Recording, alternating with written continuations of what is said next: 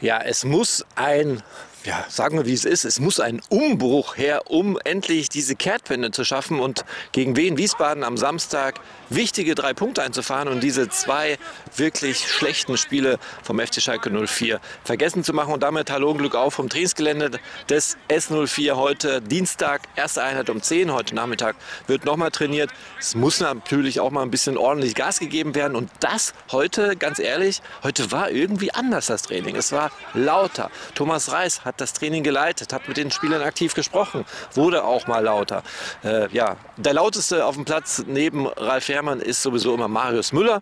Auch heute hat er seine Vordermann ordentlich angespornt, sagen Sie mal so. Und äh, das haben wir ihn auch gefragt. Ist das sein Naturell? Ist das sein Anspruch, auf dem Platz immer laut zu sein und den Leuten zu sagen, was sie zu tun haben? Ja, ich will nicht sagen, es ist ein bisschen mein Naturell, aber ich lebe davon. Ne? Ich versuche immer zum Training zu kommen und äh, ja, erstmal auch meine 100 Prozent zu geben und wenn möglich darüber hinaus. Aber ähm, sehe es auch als Pflicht an, weil ich jetzt auch einer der Erfahrenen bin, da einfach halt ja, vorne wegzugehen ähm, und, und, äh, und auch Farbe zu bekennen, ganz klar.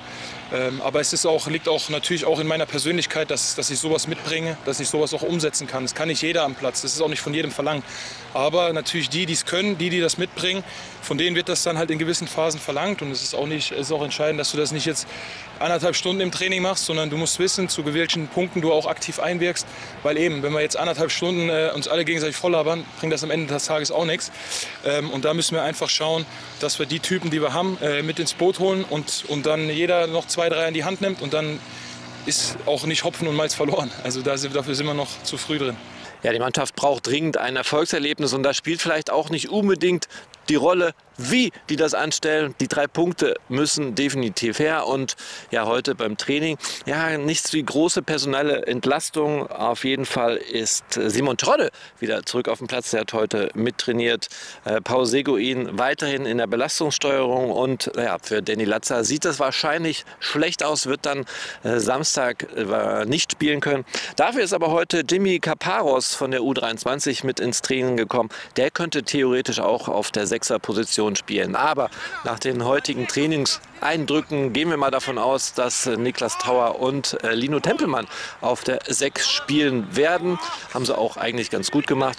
Ja, und äh, vielleicht gibt es ja in dieser Woche noch einen Neuzugang, der vielleicht dann auch noch äh, auf der linken Verteidigerposition zum Einsatz kommen würde. Ich glaube nicht, aber äh, nichtsdestotrotz ein Neuzugang, den können wir schon noch äh, hoffen.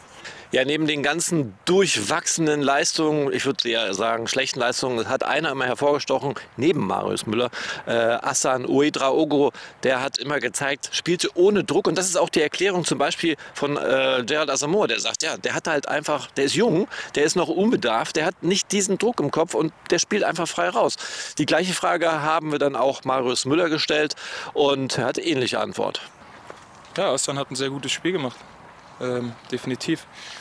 Nochmal, am Ende des Tages ist Fußball. Wenn ich dir alles erklären könnte, dann äh, würden wir nicht so zwei Spiele vielleicht hinlegen. Ne? Es ist immer natürlich schwer, warum, wieso, weshalb.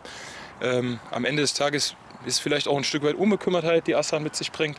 Ne? Er ist einfach ein sehr guter Fußballer, habe ich ja auch schon mal in einem Interview gesagt. Ähm, er bringt sehr, sehr viel Qualität mit und das kam ihm dann am Samstag auch zugute. Und man war dann auch froh, dass wir dann wenigstens einen Lichtblick hatten. Ja, das komplette Interview mit Marius Müller, das gibt es natürlich hier auch auf unseren Schalke-Seiten des Medienhaus Bauer. Im Laufe des Tages ja, werden wir dann das Interview online stellen.